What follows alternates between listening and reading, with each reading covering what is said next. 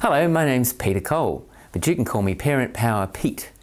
Why Parent Power Pete? Because I believe that I can give you, the parent of a more autistic child, more power to make a difference than you believe possible.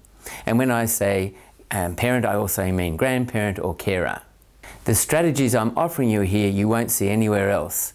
So let's go to the three things that experts get wrong about mild autism. Incorrect notion number one. Autistic people are quite different from the rest of us. Nope, all humans are autistic. Does that come as a surprise?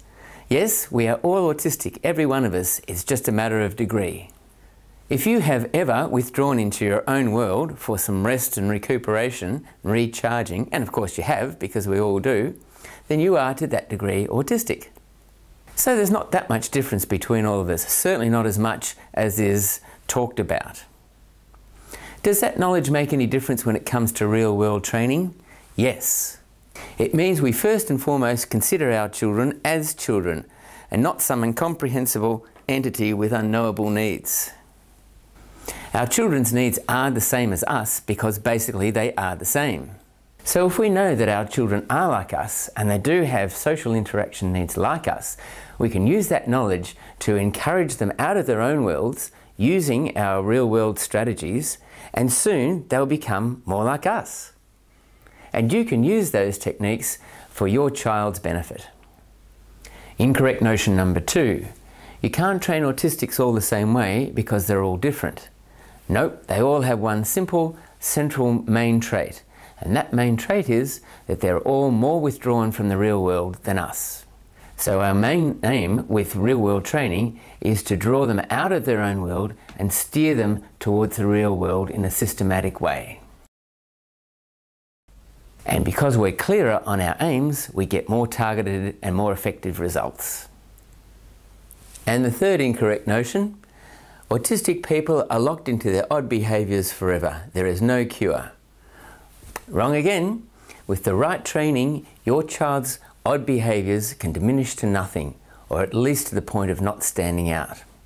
Your child can be far more socially connected, less obsessive and so forth, down to the point that in a crowd it won't be noticeable. So come and have a look at what the real world training has to offer by clicking on the website link below and see how you can give your child better options in his or her future life.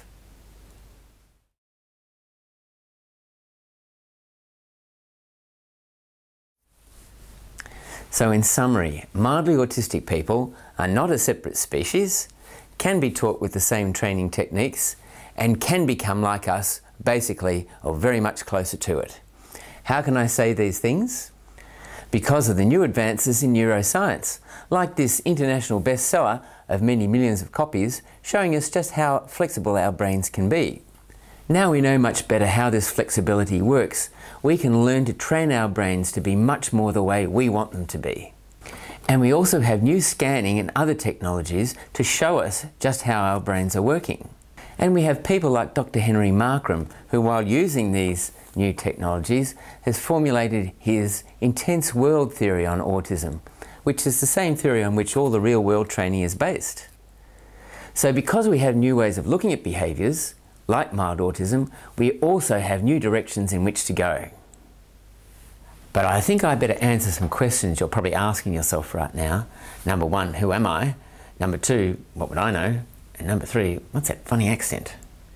Well, number one, I'm the parent of a young chap who's becoming more neurotypical, as they call it every day. For example, he no way qualifies for any school support anymore. Number two, I've been immersed in mild autism now for the last 10 years, decade. I've read all the popular books and I've got very much involved in the technical side of things. But importantly, I've also been involved in all the practical things to do with mild autism, from the special schools to the play groups, to the speech therapy, to the sports training, all those practical things. And over that time, I've carefully observed a range of mild autistic kids and their behaviours, not just my own boy. And where others see differences, I see one core similarity, and that's withdrawal, the reduction of which is the main aim of parent power real world training. My experience began by being thrown into mild autism, just like you. And like you, I didn't start with theory. The result is being free of those theoretical constraints, some of which I consider to be wrong and unhelpful. I can now offer you a new understanding, a practical understanding of mild autism. Since we are immersed in mild autism 24 7, we have an understanding you can't get anywhere else. And I'm here to help you harness your parent power more effectively. And number three, what's the accent? It's Australian. G'day, mate, which means hello. Anytime you feel like it, go have a squiz, Australian expression, at the website. On that website, you'll be able to do things like this. There's the mild autism site and a range of autistic behaviours is described. You can click on any one you like to get more detail on why that behaviour is happening and how that behaviour is linked to withdrawal for future remedy. There's the scroll bar to look at more detail on each one and the close button at the top. Now, how would you like to experience what it's like to be in a more autistic world?